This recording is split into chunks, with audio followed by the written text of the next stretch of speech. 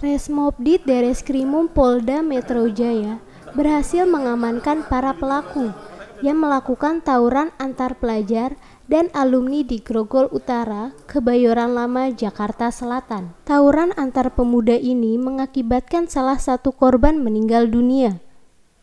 Korban diketahui berinisial MRR yang dipenuhi dengan luka sobek pada bagian kaki, punggung, dan sekujur tubuh.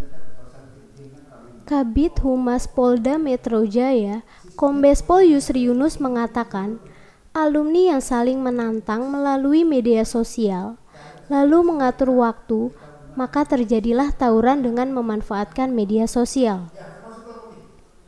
Tersangka dalam tawuran berinisial GMF, RC, WAP, HM, dan RH akan dikenakan pasal berlapis tentang perlindungan anak dengan ancaman hukuman 9 tahun penjara. Mereka cara modus operandinya dengan mengajak berkelahi ini dengan menggunakan media sosial yang ada. Ya, setelah itu melakukan pertemuan.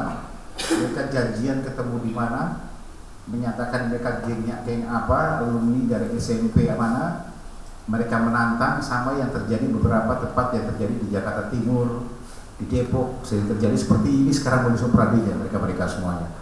Janjian ketemu di tempat di satu tempat kemudian jam berapa mereka ketemu ya. Kemudian terjadilah perkelahian tawuran ini. Yang mengakibatkan korban ini meninggal dunia dengan luka bacokan.